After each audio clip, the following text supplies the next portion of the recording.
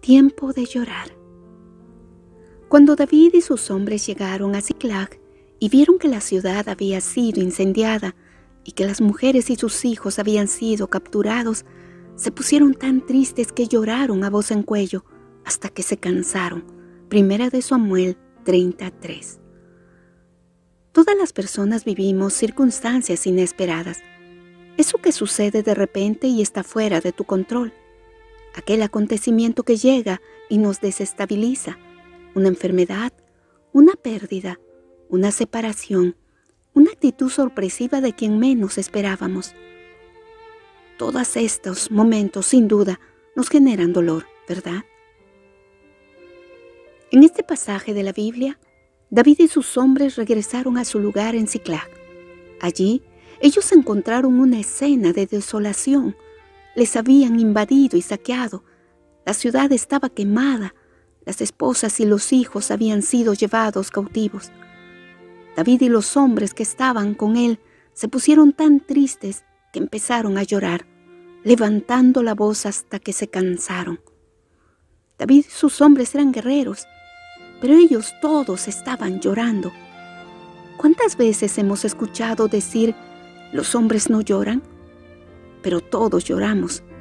Eso nos permite ver lo frágiles que somos. Podemos y debemos llorar.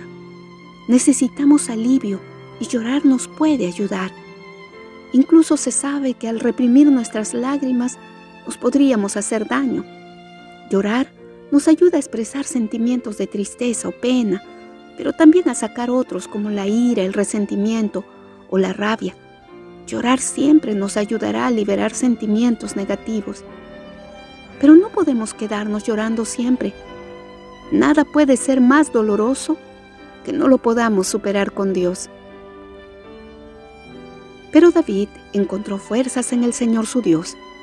Y David le preguntó al Señor, ¿debo perseguir a esta banda de saqueadores?